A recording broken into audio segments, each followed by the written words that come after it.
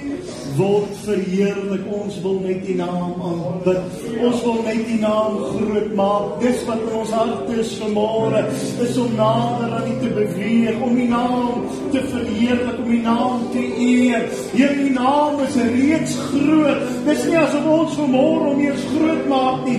Here, maar ons besef en beleef net meer die grootheid en die godheid van U, hoe meer en na mate ons U naam oop ophef en U naam groot maak. Help ons vanmôre, Here, om uit ons harte uit U naam groot te maak, so groot. Here, dat ons vyande en ons probleme sal begin klein kyk. Here, help ons om meer en meer U naam te verheerlik.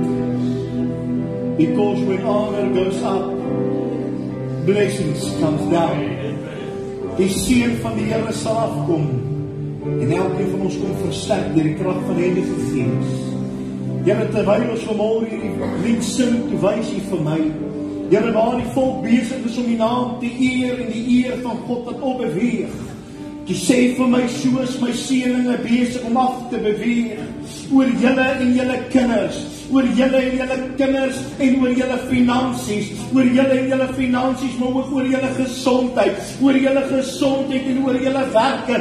Weet vanmôre, wanneer julle eer opstuur aan God, sal die seën van die Here afkom en God se genade en guns sal met julle wees, want ons is nou maar eenmaal die geseëndes van die Here, wat ons God vir ons is. Wie sal teen ons wees as God seën? Wie kan keer? Ons dankie daarvoor. Word nou verheerlik, Here. Seën hierdie woord, seën die gedagte wat uitgaan. Dankie vir hierdie godsgeïnspireerde musieke.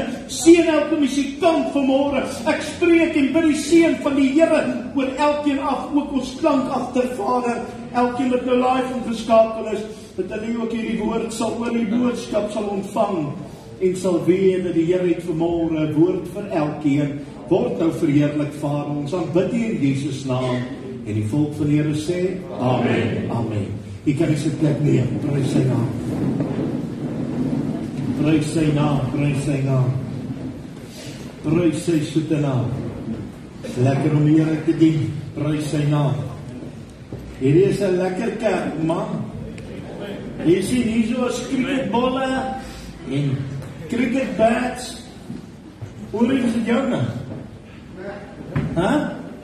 Jy het jou speelgoed vergeet. Ek dink jy moet gevra om te bring. Praise the Lord, praise the Lord. Ek gaan nou hier erns uitbou. Amen. As jy drie dit gesnap het. Amen. Kom ons gaan aan. Ek het vir jou gedagte wat die Here op my hart lê met die tema as jy gereed. Is jy gereed? Die tema sou jy sien is so mannetjie met 'n cricketbat wat daar staan. Dis hoe die Here dit vir my gegee het in 'n gesig.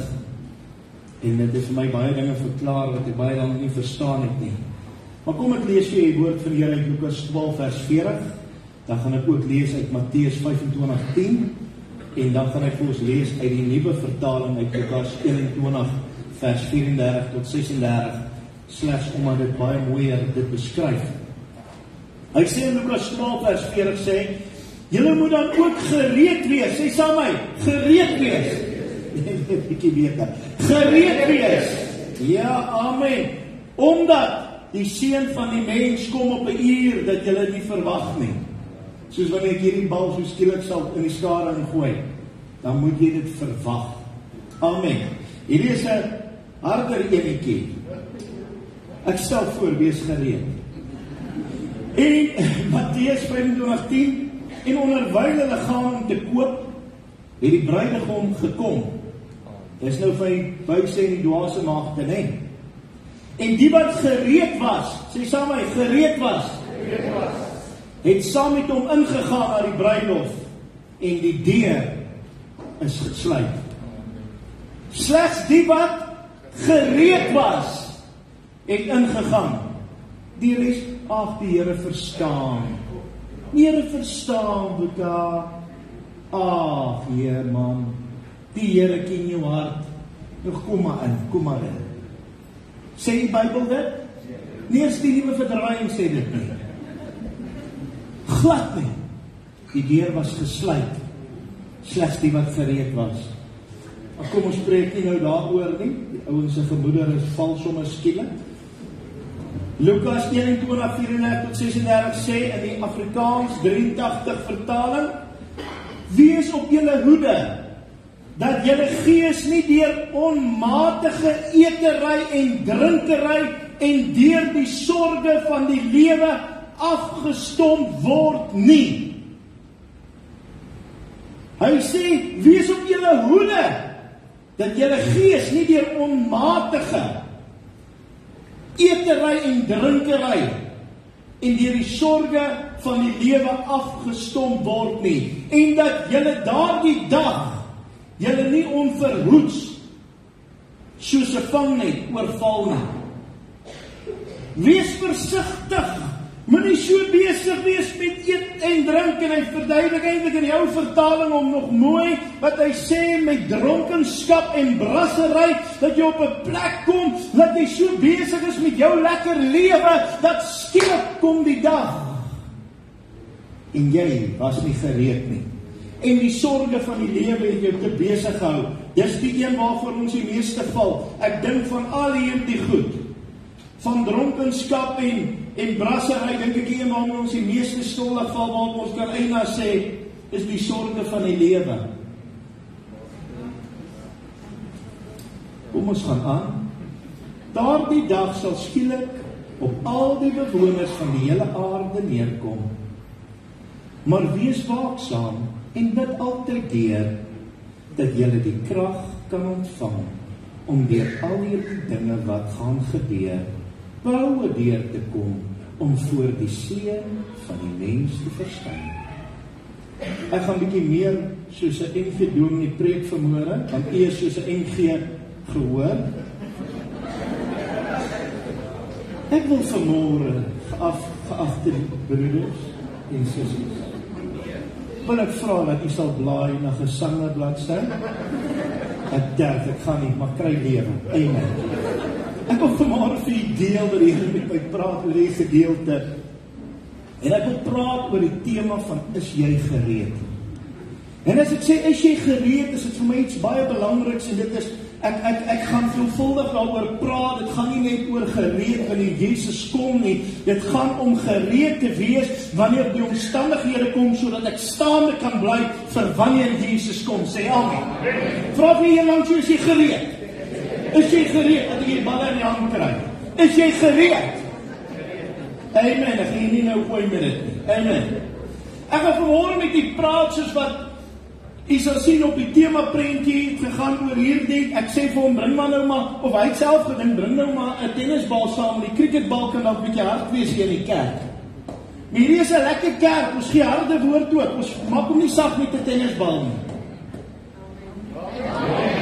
Ek dink dis van al die tennisballe wat in die kerk in so toestand is. Is op 'n sagte sponsballetjie, so tyd dat ons harde cricketballe uitbring. Nou wat gebeur het vroeër in my lewe? het ek altyd gekom uh Sena kom staan bietjie kom saam jou pa kom kom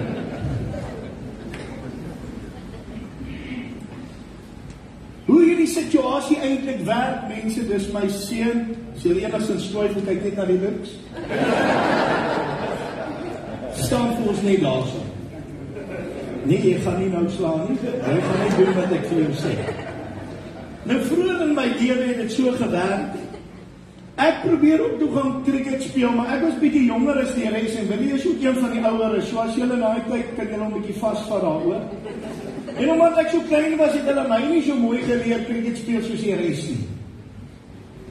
Maar ek het altyd dopgang en gesien hoe speel hulle. En en hierdie man wat hier sit, hy kon sport speel enigiets. Hy was briljant geweest in alle sport.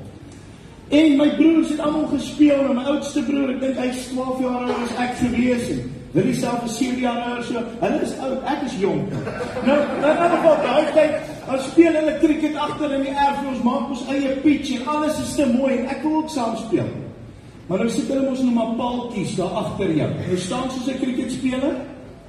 Ja, nou nie heeltemal baseball nie, meer cricket. En in elk geval skies op die TV games staan hulle baie keer verskillend. Uh, ons so paar wat snap nie, kan my seun kan sport doen. Wat gebeur is, ehm um, presies soos hy nou staan, dan sit hulle mos nou paaltjies in die agterkant. Dan kom die bouler nou hier ingehardloop met 'n geweldige spoed, lyk soos Usain Bolt. En dan volgende oomblik dan bou hulle. En dan wanneer hulle nou bou, dan val daai bal nou. Ek gaan hom nou definitief nie gooi nie want ek weet hy gaan 'n hou wil gee. Dan val daai hou nou. En dan as hy nou wanneer ek inkom en ek tel my hand op staan gereg soos wat jy sou staan. OK, want nee, sit hom plat. Sit hom neer op die grond. Ja. Nee, om te demonstreer maar dat die mense ook sien, draai so 'n bietjie. Nou wat ek gedoen het is ek het gegaan, hou ek die die die bed plat. Die kolf hou ek dan nou plat. Hou hierso. Maak net vir my bil. Moenie vir my bil nie. Maak dit. Dan staan jy mos nou reg. Jy ken hom net. Nou wanneer daai bouler nou inkom, dan staan ek nou hier met die kolf. Dan volgens kom die bal by my, nou wil ek optel en slaan, dan is die paaltjies reg. En ek verstaan nie hoe kry die manne dit reg om so vinnig op te tel en te slaan nie, want die bal kom met 'n geweldige spoed verby. En toe later toe leer ek nou ietsie. Wat is die tema? Jy moet gereed wees. En weet jy hoe word jy geleer? Dat wanneer daai bouler aankom, dan tel ek my kolf reeds op. Sodat wanneer hy kom, slat ek hom. En dis wat nou gebeur het. Nou op die einde van die dag, nou staan ek en ek sien die storie sê ook net ek kom optel. Wat se verskil gaan dit nou mamma? En ek tel hom op en toe daai bal bring, toe slat ek hom. En ek begin totaal met beter speel. So wil raai dat ek op daai stadium vir die werk ek speel het ons action cricket gewen vir die klomp ouens wat gespeel vir die jaar baie dankie jy kan gaan sit. Geef jy vir my anders gaan jy nie fokus nie. Amen. En ek het gestaan en ek het nie verstaan hoekom kan almal so lekker tennis uh, tennis. Ek cricket speel maar ek kan nie. Ek het ook 'n bat, ek het ook maatjies, ek het ook paaltjies, ek het die pads aan, ek het die helmet aan, ek het nou ek help so duidelik nie, maar ek het alles aan wat jy nodig het. Nou staan baie ding is 'n masker, maar nou staan jy en ek vir dis 'n stout, dis die kerk hier. Nou staan ek daar en ek verstaan nie hoekom kan ek nou nie so lekker soos die ander manne speel nie. Almal slaap die bal nou lekker bal weg. Jy voel maar on stupid, hè, dan met jou gebeur. Ek voel of dit met almal om jou goed gaan, maar met jou gaan dit nie so goed nie. Nou verstaan ek nie, toe ek nou mooi oplet. Toe sê jy, hey, moet jy sê daai hand optel, tel ek so lank op en ek maak gereed of ek kom dan nou gaan blok of ek kom gaan vat en ek gaan hom slaan en of ek kom nou gaan vat en ek gaan hom 'n reverse sweep gee, wat ook al ek gaan doen, dan speel ek hom. Maar ek moet gereed wees. En die hoofding is om wanneer hy nog aankom, voordat die bal sy hand verlaat, moet ek gereed wees. En die Here begin met my praat oor die proses om gereed te wees voordat die aanval kom. Baie mense wil wanneer die omstandigheid plaasvind, dan wil hulle vinnig gereed kom, dan wil jy bid, man, jy sit sommer in vir die laaste jaar se gebed. Het jy gesien? Gee hom 'n bietjie moeiliker sien jy hy man is sommer in die kerk, ooh, hy bid sommer 'n halfuur voor die tyd is hy op die mat. Hier's nou teels, so hy is nie op die teels. Ek het dit gesien. Manne probeer 2 en 3 jaar se gebedslewe inhaal in 'n week omdat dit moeilik gaan in sy lewe. Weet jy wat hartseer? Jy kan hoe hard probeer. Dis te laat om jy mos voorberei gewees het. Ek kan hoe hard slaan, ek kan wat se krag in my arms hê en ek kan wat se wat ook al hê, wat se vernuf hê. As ek nie gereed is vir die aanval nie, dan beteken dit vir my niks. Ja. Jy moet by my bly vermoor. Mense wil wanneer omstandighede kom, dan wil hulle aan die vasgaan, hulle wil na die bid gaan, hulle wil al die goed doen en dan glo hulle nou gaan alles uitgesorteer word. En as die Here dan nou net nie doen nie, dan moet jy nou hoor, hoor. Dan het hulle 'n mond vol te sê vir die Here want hy wil hulle nie hoor nie. Hy was dan al die paddy spaarwiel. Nou verwag jy miskien dat jy stuurwiel wees. Here sê vir my, kry julle gereed dat wanneer die aanval kom en daai bal kom, Hy kom om my uit te bil. Hy kom om my uit te haal sodat ek die veld moet verlaat. Ek wil vir jou selfs aanval in hierdie lewe, maar daar is om jou uit te bil sodat jy die veld moet verlaat sodat jy dit nie meer kan maak nie. Maar hoor vanmôre die woord van die Here, wanneer jy gereed is vir die aanval, gaan jy van daardie nederlaag, gaan jy oorwinning maak. Jy sal van daardie bal wat kom om vir jou uit te bil, sal jy 'n 6 slaan, sal jy 'n 4 slaan, sal jy punte aanteken en jy sal op 'n hoër platform wees as die dag van tevore. Die verskil lê net daarin. Wie is gereed wanneer die aanval kom. Halleluja. Die teleurstelling word God se bestelling. Amen. Die seer, die teleurstelling, die seer en dit wat jy moes breek, sal jou bou. Maar dit lê daarin dat jy moet gereed wees. Nou hoe raak jy nou gereed? Hoe kom ou nou gereed? Hoe's ek nou gereed? Ek moes dood eenvoudig dophou wat doen ander wat suksesvol is. Dit help nou nie ek hier daar gaan sit en hy kan nie speel nie. Is wat baie mense doen. Van sit en hy ek kan nie saam speel nie.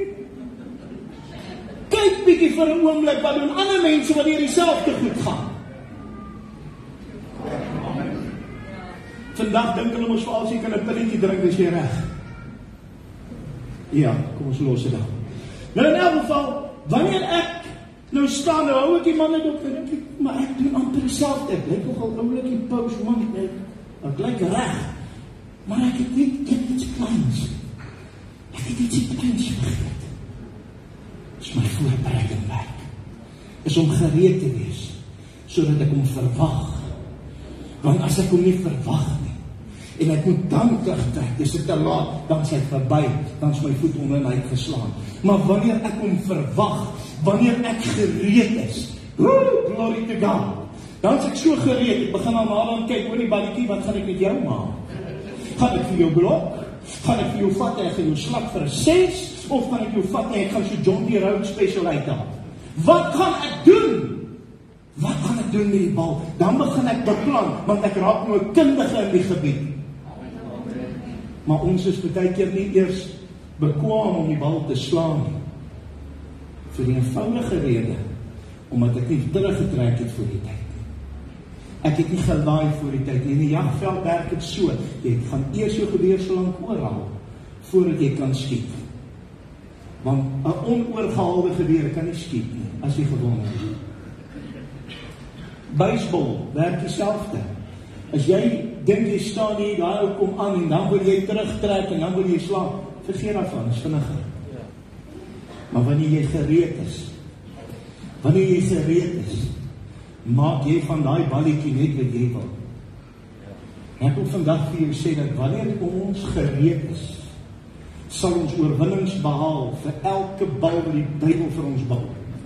Wanneer ons gereed is, sal ons elke aanval verander in 'n oorwinning in Jesus naam wanneer ons gereed is, dan sal ons kan begin nader aan besluit hy kom hier dis wat ek van hom wil maak. Dis wanneer jy begin groei en bietjie klim in die ranks om te besef, o ag, is net dit, kom ons hanteer hom gou. Baie van ons raak so bang as daai bal kom, jy koes net. Is dit so? Baie van ons wat net koes. Vir alles hulle nou nog vir jou sê, hoorie, hierdie sagte balletjie verander in 'n harde balletjie. Kyk, ek kan optel. Ek weet mos hierdie dingetjie maak seer. sien maar daai nate so op my lyf. Eendag speel ek ook so saam met cricket. Nou soos ek sê, ek het 'n bietjie gesukkel met die skoolwerk, so net my moet daar op die laaste ou gesit vir as dit regtig nodig is. Maar ek kon goed veld werk. Ek kon daar 'n bietjie vang en ek kon hardloop, ek kon 'n bal keer en ek het spoed gehad en daai tipe goed. En ja, ek het 'n ou nodig gehad vir span. Nou in elk geval, En eendag volgende oomblik bou hy hier so af vir die ou en ek staan daar skens agter en toe so slag daai ou reël die bal in die lug. Mense, wie weet mos, dis nou 'n oomblik, my voel soos 'n leeftyd. Dit voel of al so 'n slow motion gebeur. Ja, so kyk toe, jong skreeu jy, jy voel soos die beste ou wat jy weet ek sê jy dit gebeur nie. Dit het net gebeur. En ek wil net vir jou sê, weet jy wat het daai dag ook vir my gebeur?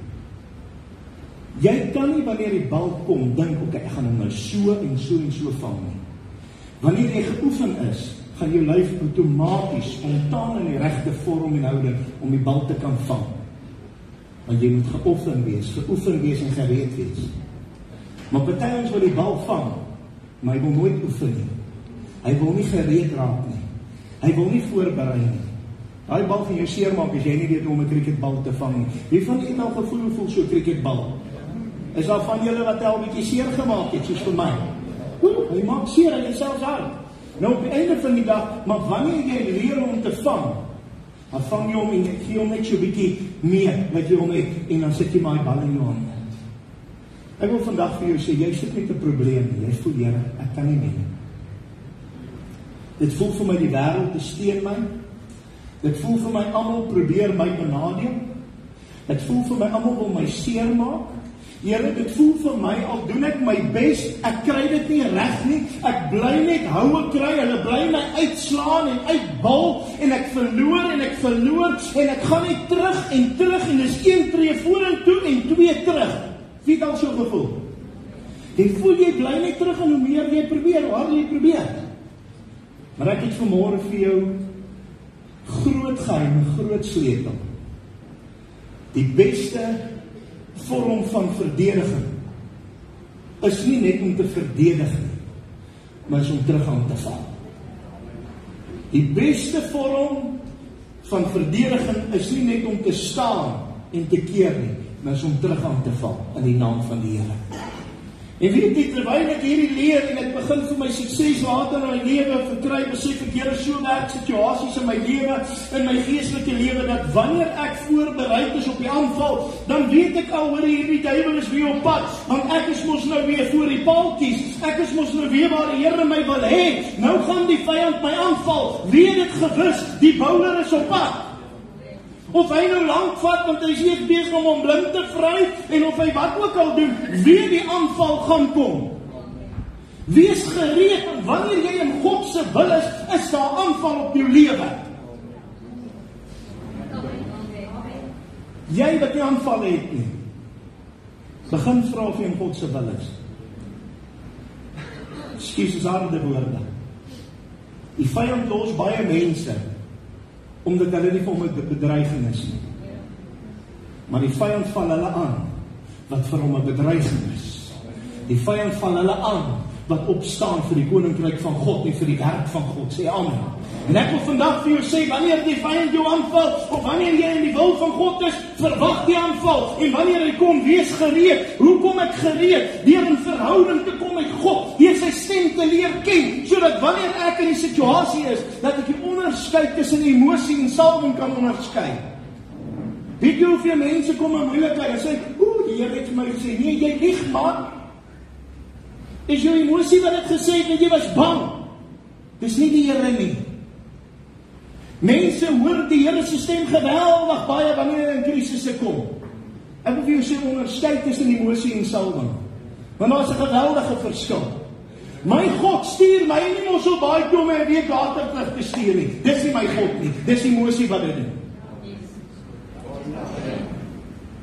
Word mense hiernatoe gestuur deur profesie en deur alles.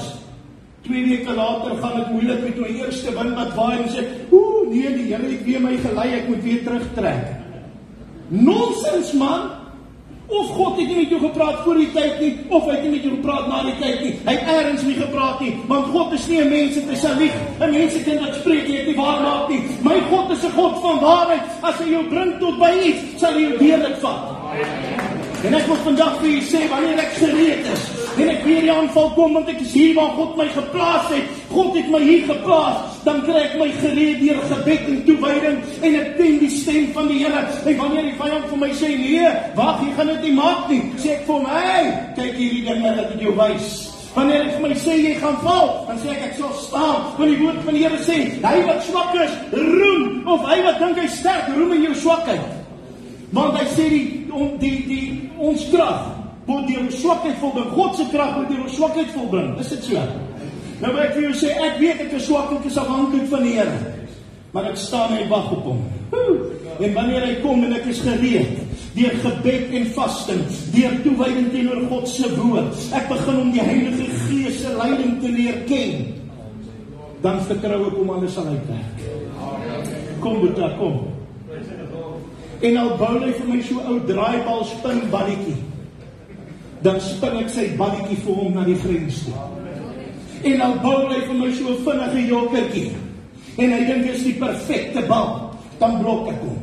Want op die einde van die dag God berei my voor vir wat kom.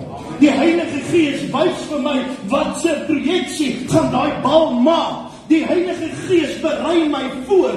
Vertrou God se Gees, want God se Gees gee jou die oorwinning, sê amen. As jy God vertrou, gee die Heilige Gees vir jou die oorwinning. Jy sal krag ontvang as die Heilige Gees oor jou kom om my getuies te wees. Halleluja. Jy sal beweeg in die streke en sê so sê die Here, jy sal jou hande op siekes lê. Hulle sal gesond word. Jy sal duiwels uitdryf. Hulle sal weet dat ek is God en ek is met julle. Sê amen. Ek wil hê jy moet verstaan, maar jy moet gereed wees. Alles begin by die gereedheid. Jy kan die pakkie aantrek, jy kan vir jou 'n mooi wit hempie en 'n wit lang broekie aantrek, jy kan vir jou die skoentjies aantrek, dalk met 'n spytjie by, jy kan vir jou alles opsit, die hele gear. Dit maak nie van jou 'n krangige kriketspeler nie. As mense wat vandag die pakkie aantrek van Christendom. Maar hy is nie gereedheid en hy is nie geoefen soos 'n kind van die Here geoefen moet wees. Hoor vanmôre volk van die Here, ek het vir jou woord. So spreek die Here, die aanval gaan hewig raak op die kerk. Hewiger as ooit van tevore. Luister vandag die woord van die Here. Die aanval gaan geweldig raak, maar God sê my volk wat gereed is, sal hom slaan soos 'n sportman van vermaak.